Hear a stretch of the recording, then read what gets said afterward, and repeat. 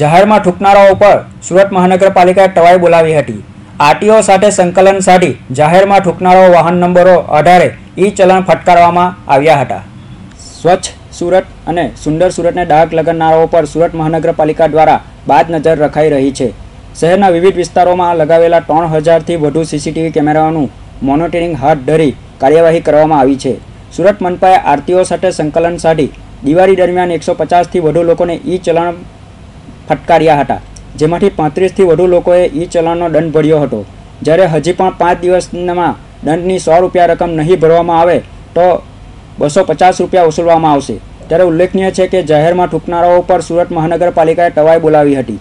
RTO સાથે સંકલન સાધી જાહેરમાં થૂંકનારાઓના વાહન નંબરો આધારે ઈ ચલણ ફટકારવામાં આવ્યા હતા. Ketan Patel, Hind TV news, Surat.